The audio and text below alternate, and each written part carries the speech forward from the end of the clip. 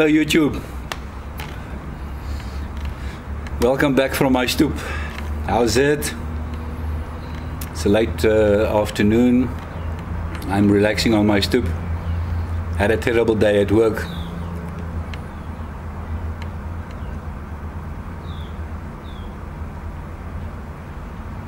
As usual lately.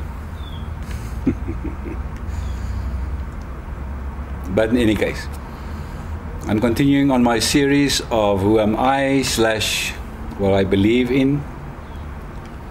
And uh,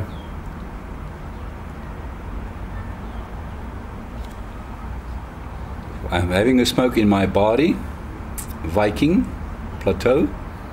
Actually, a very nice pipe. I haven't heard it until I bought it. Uh, and Old Dublin, the only, only Old English or English blend tobacco that I can buy in South Africa.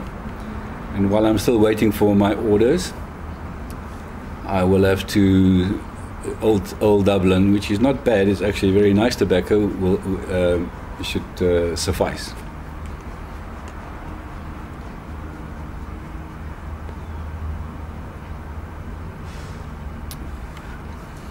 By the way, don't know whether you've noticed, but uh, my stoop has been rearranged by my wife.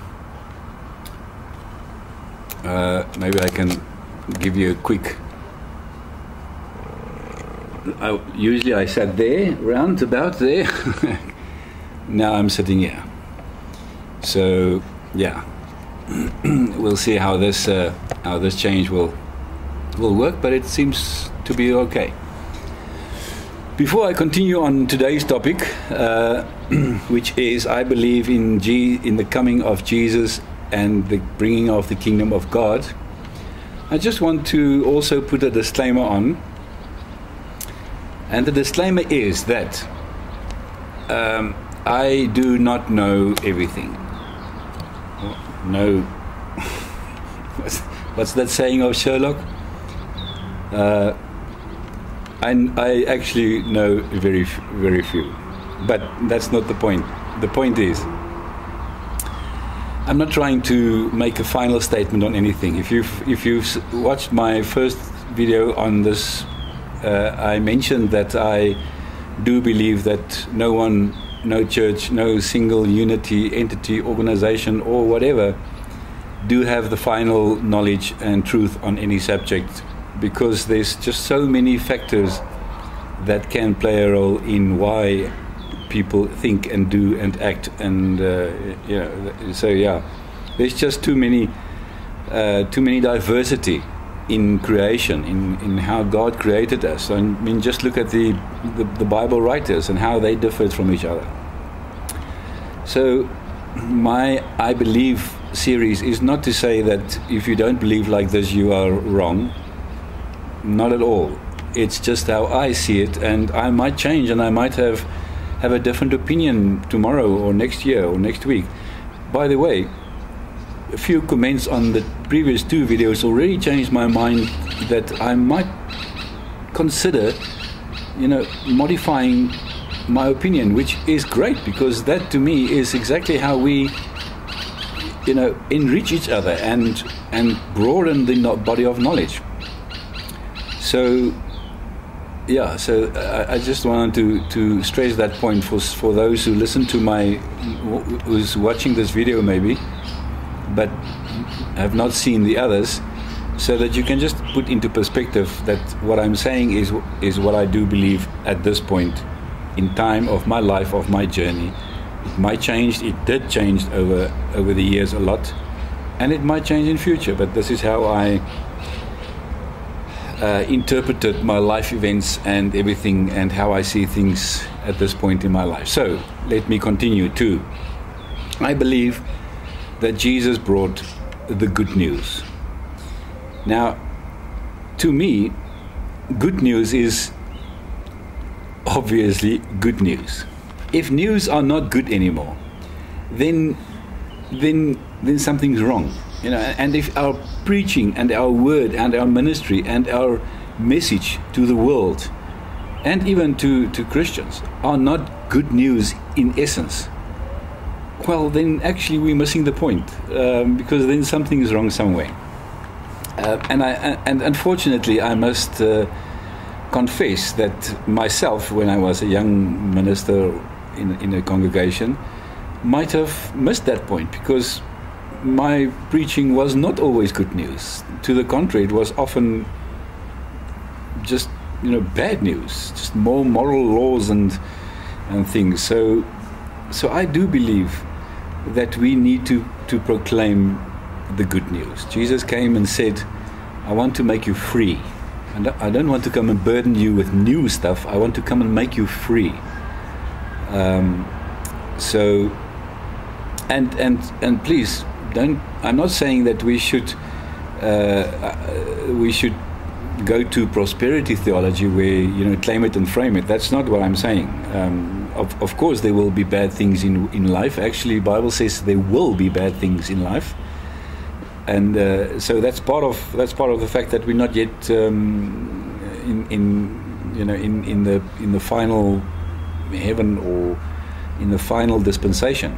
As long as we are here, there will be uh, bad things that happens to us, but if the church adds onto those bad things in, in the word and the message that they proclaim to put people more in, in guilt and more in, uh, in moral obligations, then and, and, making their life not good news, but uh, that again, then then something to me is is not right. Um, and I mean that's exactly what Jesus also said to the Pharisees.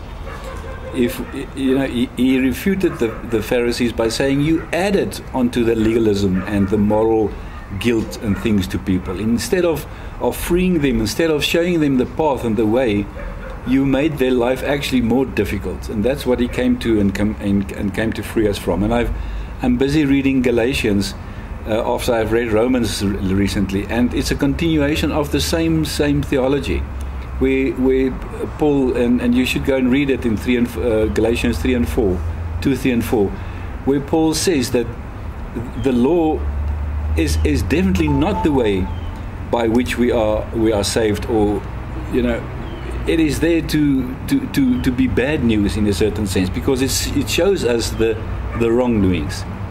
But Jesus came to bring us the good news that He wants to free us and reconcile us with God not through the right things. So, um, so I, I, I do confess that the church, our words, our practices, our preaching, um, in my opinion, now should never burden people more than that we burdened already with the magnitude of our sin, of life, and brokenness. Um, so I believe that Jesus came to bring the kingdom of God to all creation. He did not come to begin a new religion or a new theology. Um, so therefore, we are also not in competition with other theologies. We're not, we're not another one next to Judaism or, uh, you know, or Buddhism or any other theology. It, it, we're not a religion. We're not a theology. We are. It's a, it's the kingdom of God that He came to establish. So there's no competition. It's a new way of life. Um, so we are not in competition or in a constant battle against other theology, uh, theologies or, or religions. Um, we are here because we are agents of Jesus to establish the kingdom of God over all of creation people, the creation itself, the world, uh, etc. Um, because all of us are in are broken people, everyone. There's not one unbroken person in on this world, and we're all broken. We all need reconciliation. We all need uh, Jesus to make our, our, our burden lighter. Coupled to this, I also believe that we are saved by grace and grace alone. There's no extra. There should, there, there should never be an extra added as a requisite to be reconciled with God. Very, very subtle, subtle some, sometimes. Um, I do sometimes get that that people come to me or that I hear churches say, uh, yes, of course, Jesus is the only way of salvation, but you should also do, and then there's a range of the plus factor. Either tithing or baptism or the correct doing or more moral ethics or um, or you should align to this or that or the other. There's different. There's re- really a, a, vast uh, uh, diversity of what pluses people and and churches add on to, uh, then you are saved. Uh, and I believe that that is not the case. Uh, if I read the Bible correctly, to me there's only one name on earth that was given to which mankind will be saved. Acts 4 verses uh, 12. And that is Jesus Christ. Not Jesus Christ plus. You need to be a a this or a that or a do this or a do that or a etc. So grace and grace alone. And whenever we pose those kind of, of extra things, and it happened in the Bible too. Um, that's also what, what Paul wrote to, to the Galatians when they said that why do you expect of the heathens to do Jewish, Jewish cultic um, religion practices if they are not Jews? They were never Jews. Is that not putting a burden on them for something that they never intended to, to have to have uh, to have done? So we do sometimes burden people by by telling them that you can only be a Christian if you have Jesus Christ and you do the following. Then I think we are on the wrong on the wrong path. Um, we need to accept, and, and, and therefore we also are not allowed or should not judge other people who do not the things that we think or thought is supposed to be aligned with Christianity we although although that is what you might think at the time you can never ju- judge another person for wh- where he or she is in that position. That's how i see it because we are all on a different stage in our journey with god. Some might be very far ahead. Some might be might just have begun this the journey with god. So i cannot expect everyone to be where i am and no one should expect me to be where they are. We are all in a relationship with God and working on the things that we realize in our own lives which is not correct and which may improve our, our freedom and our joy. So to look at someone else and to say, but because you do A, B, and C, you might not be as spiritually as I am. I believe that is that is wrong. Um, because how can we say that? Uh, there's another person who, who, might say the same to us at the same point because they might be further ahead in their life than we are. And again, the Bible said we are not, we should not judge other people um, because we are actually killing the grace of God. Paul himself prayed to God for something in his life which was to him a terrible thing. Um, his thorn in his flesh, and God just kept on saying, I'm not going to take it away because my grace for you is enough. Now, someone might have looked at Paul and says, "Ooh, because you do that, you you are not as as perfect or as whatever as I am." We can't do that. Um, we should allow the grace of God and the Spirit uh, uh, to to guide people who accepted Jesus Christ as their Savior to grow and to have this loving relationship with God and to grow in their own time. My three children are not on the same stage. Not not only emotionally, I mean, age-wise, they're not on the same. I, and I cannot treat them the same. And, and if I try to do that, it, is often I find myself in a in a tight spot because they are not on the same stage, not physically, not emotionally, not age-wise. And and that is the relationship. It's it there's a difference in, in, in the way I treat even my kids. And sometimes the one will tell me, yes, but you do that to the other one, and I'm and I keep on reminding them, but you are not them, and you are not there uh, in your life. So, so I, I, I, believe really that that that my relationship with God is not a religion; it's a relationship, and in that relationship, I work on things which I know is not pleasing to God. But what someone else will do and where they are in their relationship, I have no say to say and uh, and I cannot judge that. So so to to end off this video then today, um, I believe that Jesus came to this earth to bring and establish the kingdom of God and to bring good news. If we proclaim a guilty, moral, legalist bad news to people, we are missing the point. And to or expect people to add on to Jesus plus baptism uh,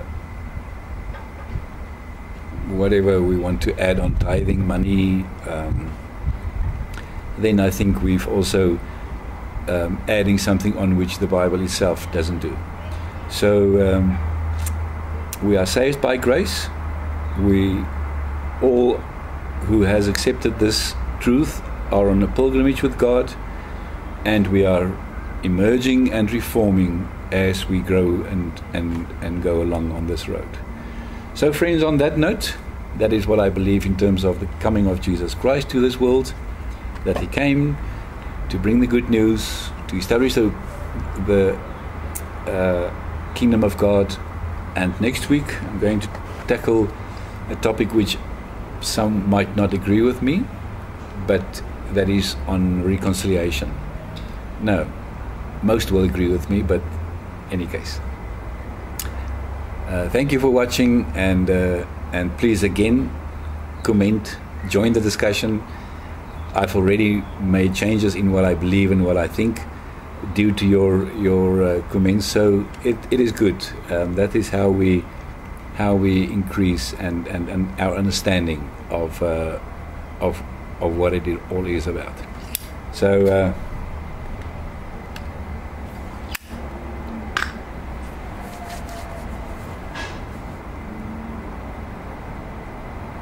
On that very nice positive note, and the positive note is lighting my pipe again.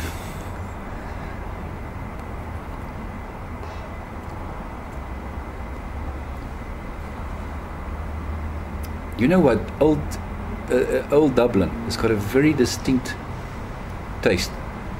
But let me let me not continue because this is not about a, a tobacco review.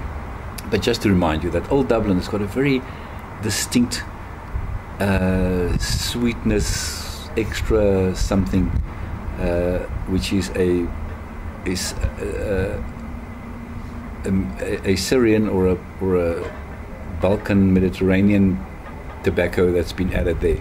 But I do know what it is, but I'll, I'll have to go and read up and, and I'll share that with you later. But it's very nice. Uh, it's very satisfying now. Thank you for watching. Subscribe if you like. Come back for the follow ups and uh, enjoy your day. Well, actually, it's quite close to night. Enjoy your night. Bye bye.